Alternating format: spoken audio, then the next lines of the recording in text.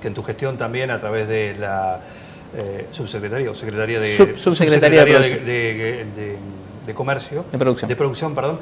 Eh, bueno, has tenido una experiencia, lo hemos charlado cuando has venido en sí. también, esa buena iniciativa de invitar y que la presencia nueve juliense sea, eh, esté toda junta, distintas empresas, emprendimientos de distintos tamaños, tipos y y bueno, estén todos en un gran stand ¿sí? para fomentar un poco, y mostrar lo que es la diversidad de producción acá en 9 de julio. Se espera, tengo entendido, por supuesto, mantener esta, esta vara, agregarle algo más, para lo cual ya se está trabajando. Hubo unas consultas, también hubo, ya hay reuniones con empresas, la idea es eh, aumentar el número de participantes. Sí, eh, sí Juan, mirá, eh, nosotros ya el segundo, el segundo año que, que participamos, en la primera instancia, me acuerdo que fue ni bien yo había ingresado a producción, que fue allá en el 2020, donde en ese momento tuvimos la posibilidad de participar en, una feria como Escuadro con 300 metros cuadrados, llevamos siete empresas en esa oportunidad.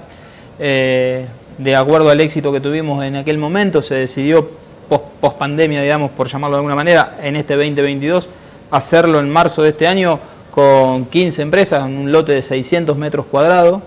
Eh, fuimos incrementando eso y bueno, la idea es ahora poder replicar esto mismo, pero ya incrementando cantidad de empresas y, metros en, superficie.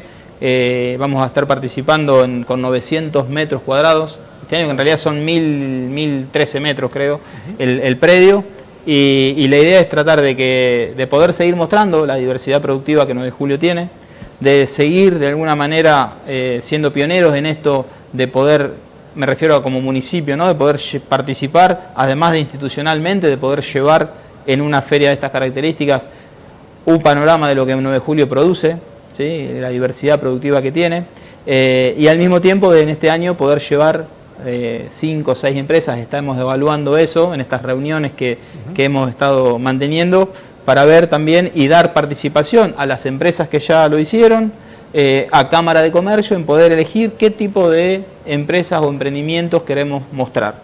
Eh, así que en ese camino estamos, nosotros tenemos que trabajar con anticipación, porque ahora estamos cerrando el ejercicio, eh, así que no podemos hacer algunas, algunas compras como como habitualmente se hace o se dice para, estos momentos. Así que tenemos que empezar a trabajar con anticipación porque no es solamente la logística del armado de los stands, sino cada empresa tiene que, tiene que hacer lo suyo. Tiene que hacer lo suyo, poder determinar eso y al mismo tiempo que nosotros nos encargamos, en conjunto con Cámara de Comercio, de buscar este, el alojamiento. En este caso estamos hablando de 60 personas, que es lo que vamos a llevar aproximadamente.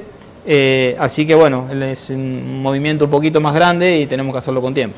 Bien, o sea que eh, antes de fin de año tendrían que estar ya las, las 20 empresas, digamos. Sí, en realidad, claro, nosotros ya tenemos, ya se han sumado este, algunas. Sí, imagino que muchas ya están algunas, confirmadas. Algunas están confirmadas, que han participado anteriormente, eh, otras que también están, ya se han sumado, nuevas empresas, y ahora tenemos la semana próxima una reunión ya con Cámara de Comercio para determinar dentro de la superficie, dentro del, digamos, de la diagramación que estamos buscando para el lote, eh, de cómo ubicar estas empresas, eh, también que ellos participen, nos den una mano con eso, y ya más o menos cerrar, para que cada empresa pueda decir, tengo tal superficie para mí, veo cómo me acomodo, cómo armo mi logística, y en función de eso empezar a trabajar para el próximo año.